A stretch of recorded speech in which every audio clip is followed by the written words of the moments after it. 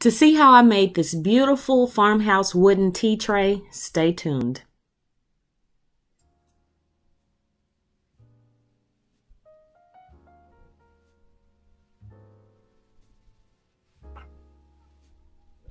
Okay, what I used to make this tray was this wooden frame or plaque, I guess, from Joann's. I got this about a year or so ago on clearance um, from their spring collection um, at the time. And it was originally, I think, $14.99. And I think I got it for like a couple dollars, two or three dollars, because it had gone down to like 80% or something like that. So I didn't know what I was to do with it at the time, but since it was just unfinished wood, I just figured I'd figure out something down the road. So right here, I'm just taking off the um, stickers and price tag and all that stuff.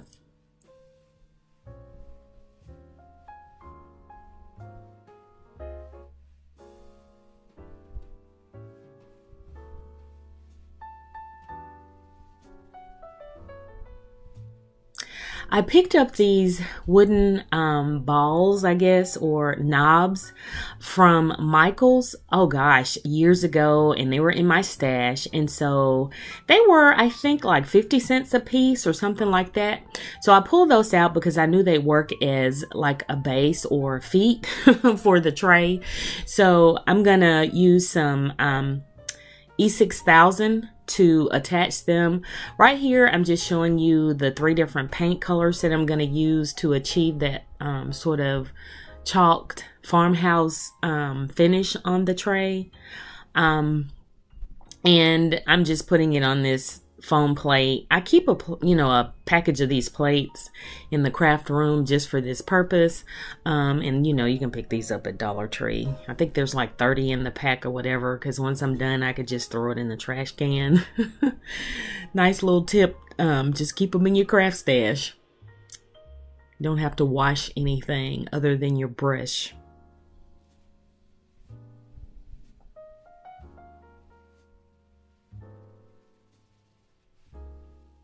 Okay, now I'm going to attach the feet to the tray. Um, again, I'm using E6000 and a little bit of hot glue to go ahead and help it set quickly.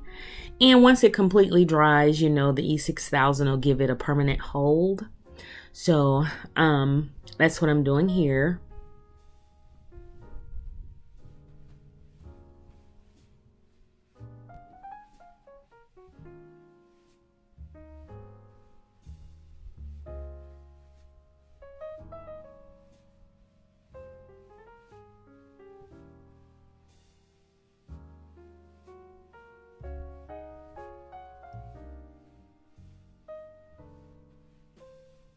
And I'm just eyeballing where they're going.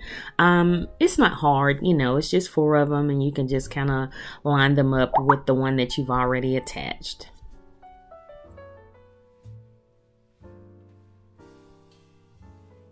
Super easy to do. And then I'm just going to let those set and um, dry. Now I'm just going to start with the painting process. Um, this is why I love unfinished wood. You could give it any type of finish, any type of um, paint process, whatever you want to do. And um, that's why I always try to pick up little things like this, especially if they're on clearance.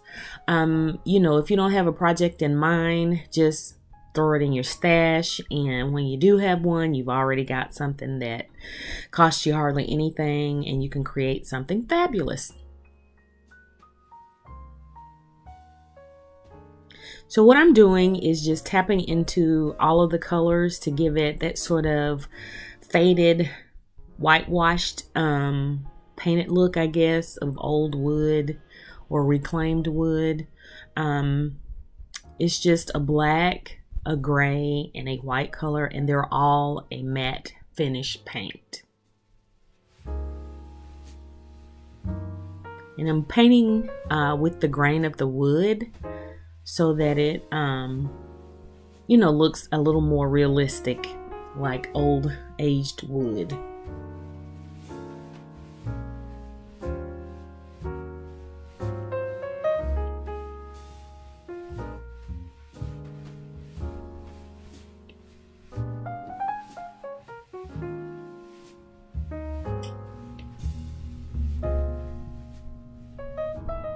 And I'm sure if you can't find something like this on clearance, you could probably use items from Dollar Tree to create this. I've seen tons of videos um, of some talented ladies here on YouTube that have created trays using, you know, the uh, framed art or the, you know, shadow box art, so to speak, from Dollar Tree.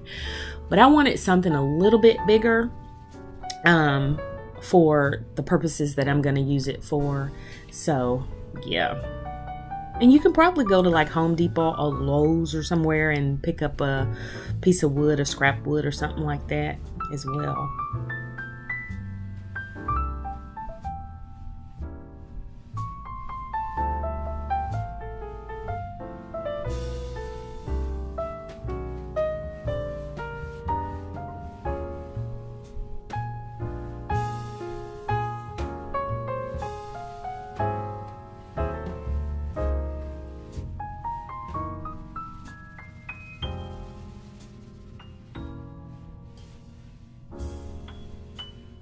Okay, now I'm painting the bottom.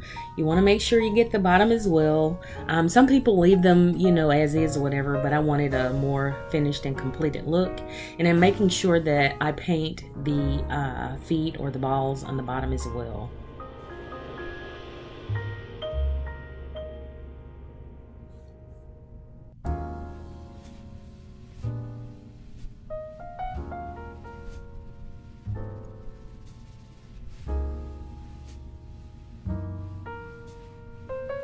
And here it is all styled up. Um, I have my little tea set or tea service here, and I have some of the faux fruit for decorative purposes to bring in a little fall touch. And I lined it with a silver placemat that I picked up on clearance. You know, I'm the clearance queen.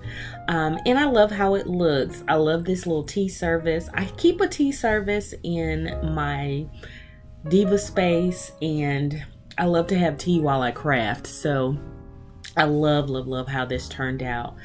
Um, it's really easy, super simple, and you can get as creative as you want to when it comes down to projects like this.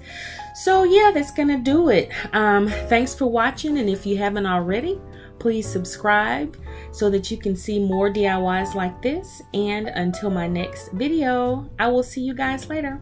Bye.